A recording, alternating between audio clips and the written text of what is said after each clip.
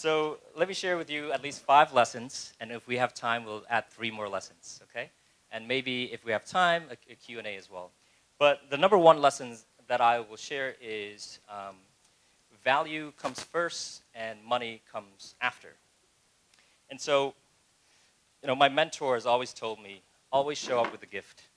It doesn't have to be a physical gift, it just has to be something valuable that somebody might appreciate. And so I think that's effectively uh, when we look at startups, they come to us with the same angle. So for uh, Morocot, which is a, a fintech for um, managing core banking system, you know, they came to us with pretty much a brilliant product, an intimate knowledge of how the banking world is, looks at their core banking system. But they came to us looking for new clients, new ways in which they could expand beyond just Cambodia. So as a former, you know, a bunch of former bankers, we were able to deliver that, you know, start the conversation with them on the first place in the first day. Uh, Junet, again, she's right here.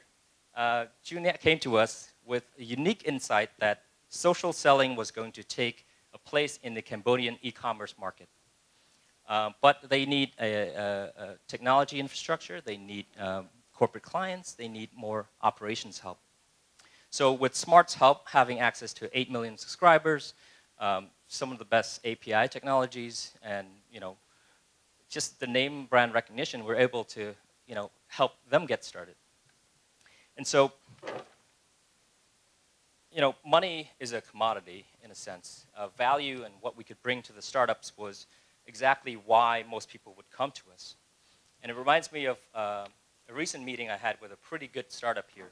They have a pretty solid financial um, uh, P&L, profitable. And at the end of the meeting, I'm like, why are you looking for funding, dude? I mean, you're, you're pretty solid. And he said, you know, if I'm, if I'm looking for funding, I could just sell my car. I could just sell my land, you know. Look, low is the, the Cambodian version of that phrase. But he said, what can you do for me? So the, the number one lesson I learned was we have to show up with a gift. Whatever value we could bring to the startups, we have to be upfront about that. Okay?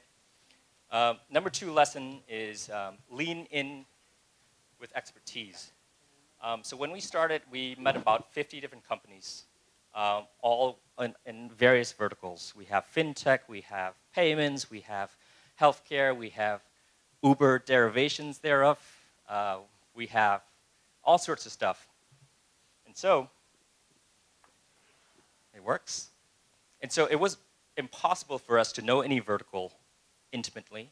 Uh, it would be impossible for us to um, assess those businesses or even add value. So the number one lesson we learned was, next slide.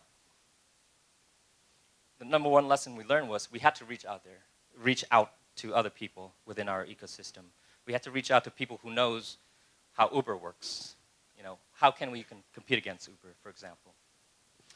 Um, so, you know, that's probably the same lesson as any startup here today, is that, you know, oftentimes the market moves so fast that you're not, you're not going to know everything. And you're not going to read anything that's out there online necessarily that will tell you these insights. So you have to, you know, find your way to get to the people that have been in these businesses before. So this is a quote from a, a, one of my favorite books, uh, Anna Karenina. It says, happy families are all alike. Every unhappy family is unhappy in its own ways. So sort of applies to startup as well. Every startup has its own unique set of issues. Um, recruiting a CTO, very hard. Recruiting the right drivers, very hard. Um, finding the first set of clients, very hard. And so for us, you know, how can we add value when the, the, the set of challenges are so insurmountable? Well, that question led us to essentially three insights. Um, number one was that we can't solve everything. As investors, as startups, we can't solve everything. So best to focus on 20% of the problems that you know, is able to solve 80% of the real issues that you have to deal with. That's number one.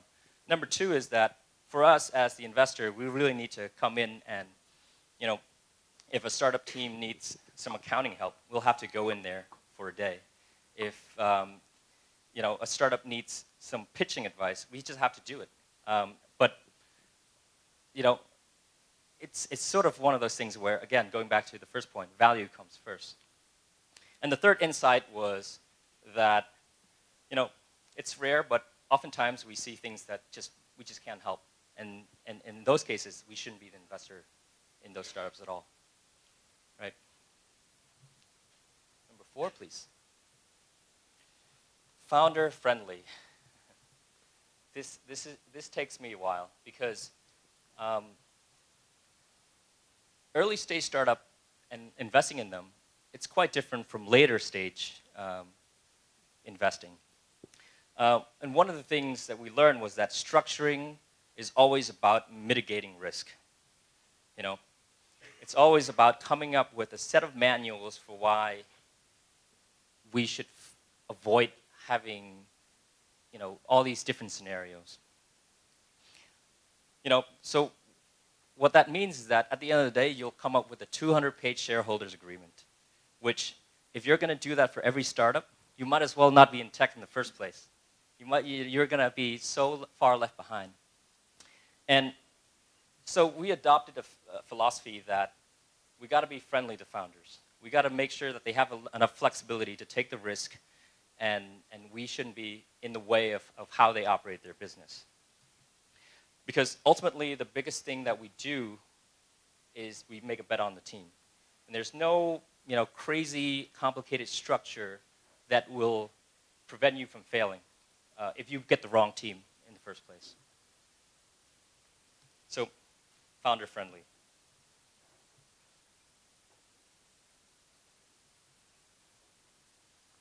Love is better than likes, and I stole this uh, explicitly from Y Combinator, but it, it, really applies to a market like Cambodia.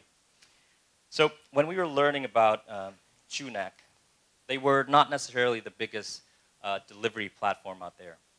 But when we talked to their uh, customers, those people were really, really, really happy with Junak. They love what Junak was able to, to, to give them. And so we were pretty impressed by that, um, partially because their customer acquisition cost was probably not going to be too high if that's the kind of viral coefficient that we're dealing with. With Morocott, same thing. We talked to the banks that use their product, love them love the price, love that it's relevant to them. And so for a B2B business, um, you really need to uh, count on you know, your, your major clients in order for you to get to the next client. And so um, you know, contrast this with a product that sort of buys traffic and then over time people sort of forget what it is about, not sure how to use it, and then all of a sudden the, the, the marketing spend is gone. So ideally you have many, many loves, just like life but uh, it's better uh, it's better to have love than to have many likes. Quality over quantity. So these these other lessons, I think um, it's pretty obvious. So I'm not going to go through them. Uh, I, I, will just highlight number eight, perhaps. Um, different tomorrow. In which case, that you know, hopefully the startup that is today will be completely different tomorrow. Um, meaning that if you don't evolve, you're probably going to, you know, hope, hopefully it's not going to happen, but you're going to be out of business. And so all, you know, I expect that all the startups that we um, partner with will not be the same form. And the most important thing for us to do is to make sure that they're adaptable enough and they're kind of people who learns from mistakes and things like that. Okay?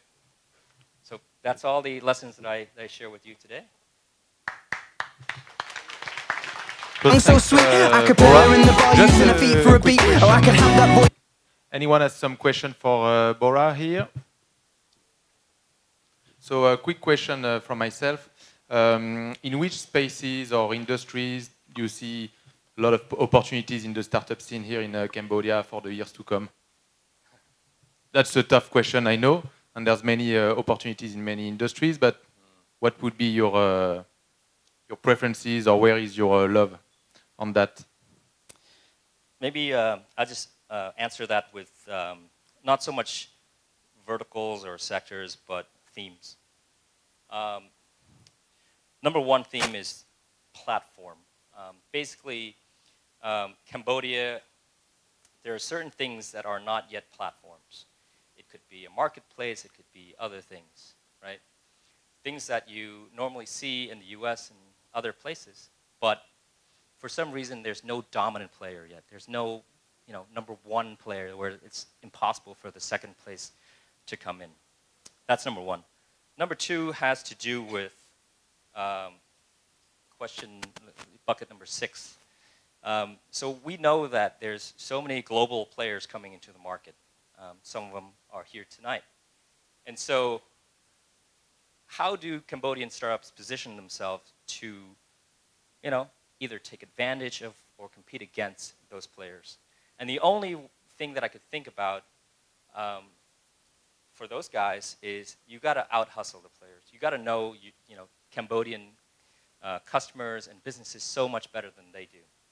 And oftentimes, um, it, it, they could either be collaborators of those new companies coming into Cambodia or an acquisition target, which is not necessarily a bad thing, uh, not exactly a bad position to be in either. Okay, thank you. Thanks, Bora.